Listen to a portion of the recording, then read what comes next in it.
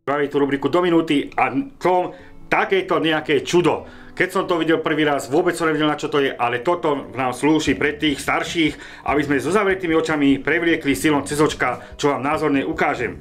Chytíme túto, tento navlekovač silónu, dáme donútra silón, čo dokáže už aj malé dieťa a so zavretými očami prevlečieme cez udicu, cez všetky očka, krásne, za, do minúty nemáme čo robiť, krásne to prevlečieme.